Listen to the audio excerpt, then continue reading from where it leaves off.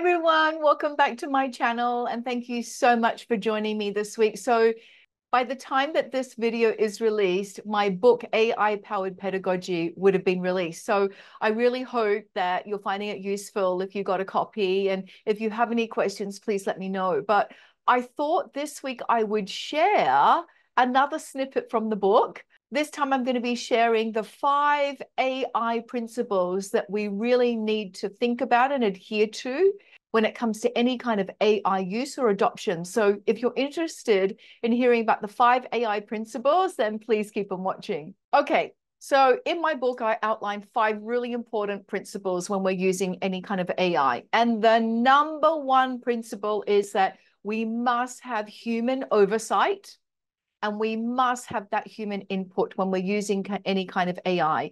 Any AI tool is an inanimate object, and we need that human touch and that human input in order to be able to make sense and make meaning of any of the generated work from AI. So having human oversight actually, and I'll just read straight from my book, human insight actually ensures AI does not replace human judgment, keeps educators integral to the learning process. So the number one AI principle of using any kind of AI tool is that there must be human oversight. Now, the next AI principle that I want to talk about, which is not necessarily the next most important, but it's about data protection. And so straight from my book, ensures the security of information from all community stakeholders, preserving trust and integrity within educational technology. So we need to really be careful of data protection, and especially if you're teaching students that are under 13. And so I always suggest that teachers log in with their school accounts. They have multiple devices around the room, whether it's an iPad or a computer, and then students can go and use those AI tools without having to input any of their data.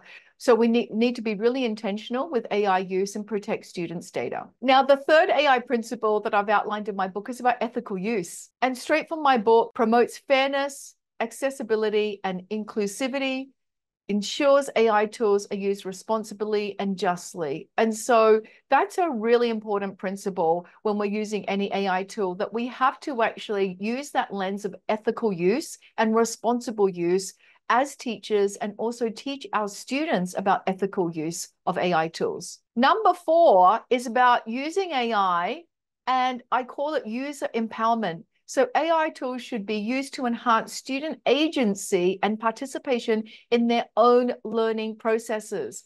And so we don't want AI tools to be a substitution of any kind of thinking. Whoever's using the AI tool, it, it should be used to empower the learning process and, and student agency and ownership at the end of the day. And then finally, the fifth AI principle is about pedagogical transformation does the AI tool actually transform practice, teaching and learning? Does it revolutionize? This is straight from my book. Does it revolutionize teaching methods, creating engaging, agentic, interactive learning experiences for our students?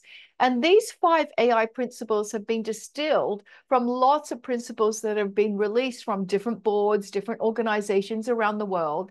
And these five, to me, really represent the five key principles that we need to be thinking about when using any kind of AI digital tool. So once again, what are they? Human oversight, data protection, ethical use, user empowerment, going around on my diagram in my book, and then lastly, pedagogical transformation. So thank you so much for joining me this week. If you've got any questions or ideas about what kind of AI principles resonate with you, then please share it in the comment section below. Otherwise, I'll see you next time.